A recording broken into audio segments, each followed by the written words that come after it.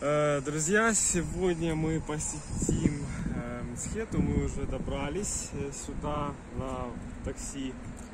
Воспользовались э, услугами такси Bolt. Они здесь доступны, очень удобно. Можно заказать в любое время, место. Пока идем, кратко опишем историю города.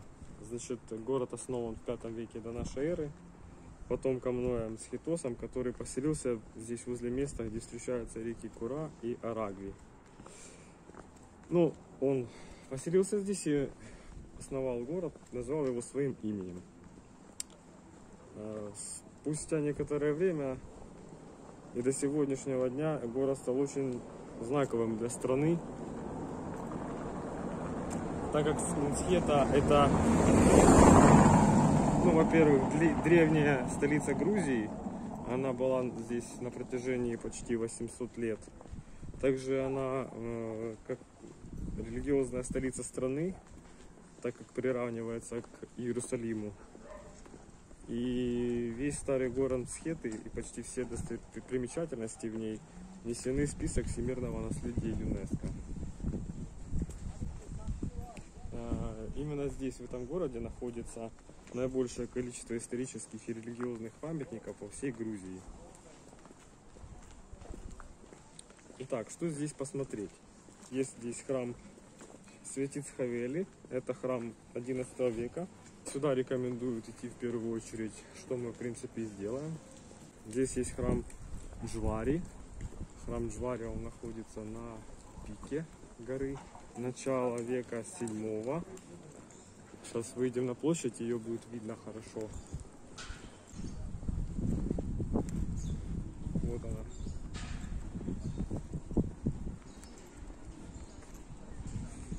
Итак, подошли к собору Святиц Хавели.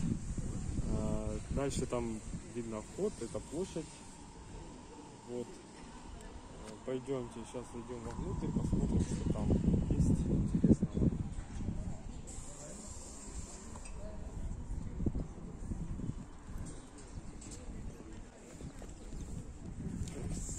Собор окружен довольно-таки высокой стеной.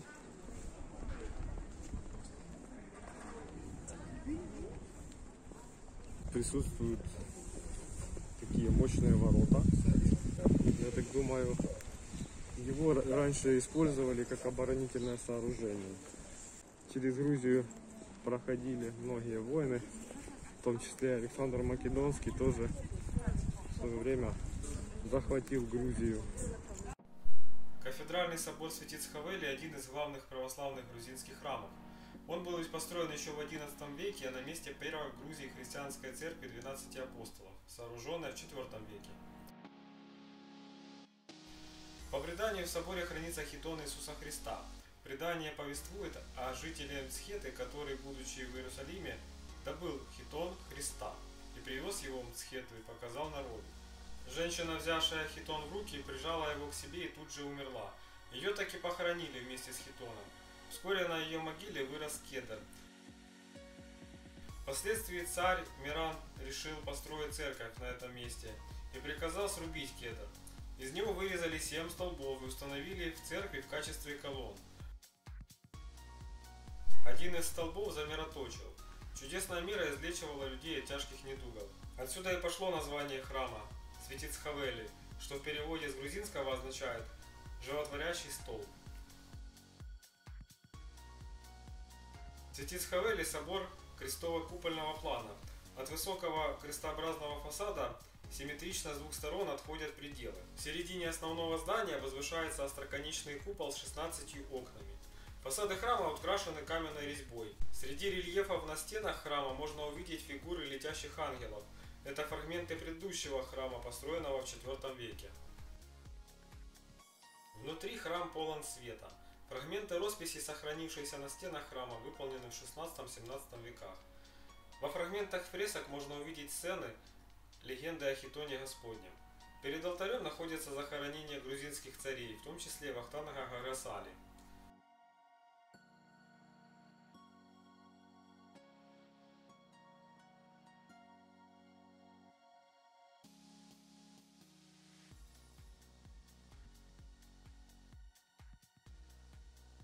Собор не раз разрушали. Самая значительная реконструкция была проведена в начале 15 века.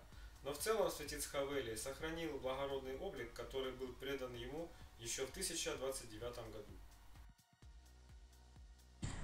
Мы приехали к храму Джвари.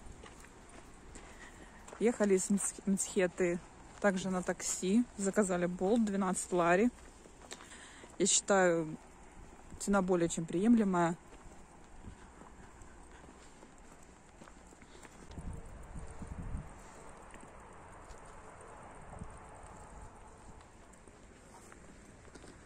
Конечно, пейзажи здесь вообще прекрасные. Горы, Да, очень красиво. по всей видимости, остатки какой-то крепостной стены. Короче, Подошли ко входу.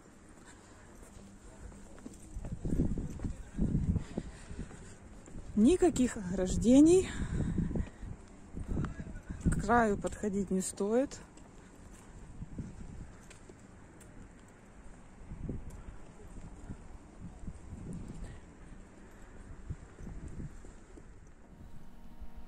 Сегодня Джвари – один из самых значимых и знаменитых монастырей в Грузии. Он возвышается над городом Цхета. Его история связана со святой Нино. Строили храм с 590 по 605 года нашей эры. В это время Грузия, Иберия, была хоть и христианской, но еще не православной. Храм стоит на высокой горе. Существует предположение, что его построили на месте одного из крестов, которые установила святая Нино. По одной из легенд, иберийский царь Миран III видел видение четыре падающие звезды. Святая Нино отправилась к местам падения звезд, чтобы установить там кресты из виноградной лозы. На месте одного из крестов и возвели монастырь Джвари. В конце 7 века арабское вторжение завершилось образованием Тбилисского халифата. Судьба храма в этот период неизвестна. Возможно, храм превратили в мечеть или забросили. В середине 9 века правитель Тбилисского эмирата Сахак перешел в христианство, отказался платить дань Персии и попытался обеспечить независимость эмирата. Но в 853 году армию Сахака разбили, а Тбилиси сожгли. Эта же участь постигла и монастырь Джвари. Персы сожгли храм и увезли с собой деревянный крест, но по преданию сами же его и вернули. В разрушенном храме продолжали жить монахи, но малое их, их число не позволяло им восстановить разрушенные персами здания. Тем не менее, внутри и снаружи храма сохранились отдельные элементы украшений. Монастырь Джвари – свидетель драматических событий в Иберии, предшественницы Грузии. В монастыре вы увидите следы персидских вторжений и борьбы за независимость. Мы вышли из храма. Ветер очень сильный. Пытались с той стороны с видом на реку сделать фотографии, но очень сильный ветер. Здесь вот горит огонь. Очень пахнет воск. Прям вот свечами, запах такой приятный. Лаванда растет. да, кстати, горная лаванда. И вот горит костер.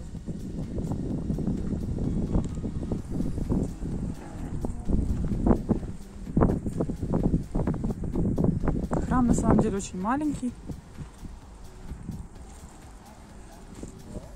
Ну, здесь менее ветрено. Может быть, получится лучше снять, подойдя к краю. Ну, горы красивые, конечно. Очень красивые, зеленые. Не очень высокие, но прям приятно глазу.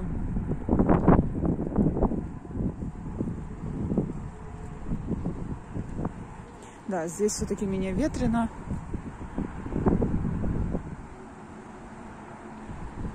Можно получше рассмотреть.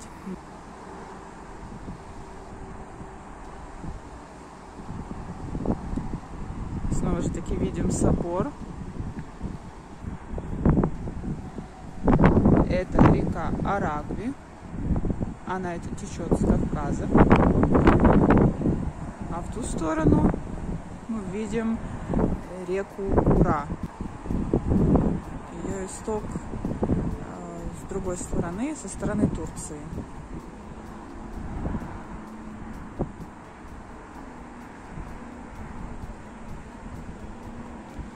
Завораживающая панорама. А теперь конкурс. Какой русский поэт написал в своем произведении о храме Джвари? Ваши ответы пишите в комментариях под видео. Три участника, указавшие правильный ответ, получат приз. Подробные правила конкурса читайте в описании под видео.